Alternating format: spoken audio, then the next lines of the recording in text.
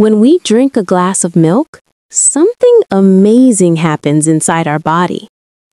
Milk goes down into the stomach, where it starts breaking into nutrients like calcium, protein, and vitamins.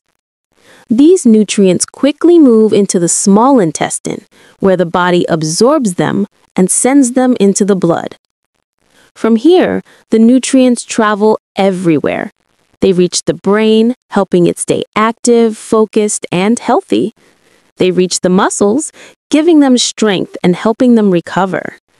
In the stomach and intestines, milk supports digestion and helps keep the gut healthy. But milk doesn't work the same for everyone. Some people may feel gas, discomfort, or skin reactions. Others may notice a small rise in blood sugar. Even then, for many people, milk is a simple and natural source of energy, strength, and growth.